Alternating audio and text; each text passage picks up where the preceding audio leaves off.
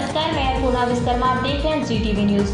भिंड थाना ovary police ने तीन महीने पुराने अंधे कत्ल का पर्दाफाश करने में सफलता हासिल की दिनांक छह सात दो हजार उन्नीस की दरमियान रात को ग्राम नगोरी स्थित खेरापति मंदिर के पुजारी प्रहलाद दास पुत्र सुंदर सिंह राजावत चरी कनावर की संदिग्ध परिस्थितियों में मृत्यु हो गई थी जिस पर थाना उमरी ने मार्ग कायम कर जांच के दौरान हत्या का प्रकरण अज्ञात आरोपियों के विरुद्ध पंजीबद्ध किया था उमरी पुलिस ने आरोपी राजेश व सुमेर भदौरिया को गिरफ्तार कर लिया है शेष आरोपी फरार पेश भिंड से आदित्य द्विवेदी की एक खास रिपोर्ट